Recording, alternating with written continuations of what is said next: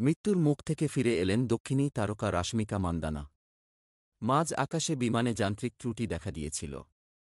সামাজিক মাধ্যমে এ খবর রাশমিকা নিজেই জানিয়েছেন। নিজের ইনস্টাগ্রাম স্টোরিতে দুটি ছবির কোলাস পোস্ট করেছেন রাশমিকা। একটিতে তার সঙ্গে শ্রদ্ধা দাসকে দেখা যাচ্ছে। হাসিমুখে ক্যামেরার সামনে পোজ দিয়েছেন দুই নায়িকা।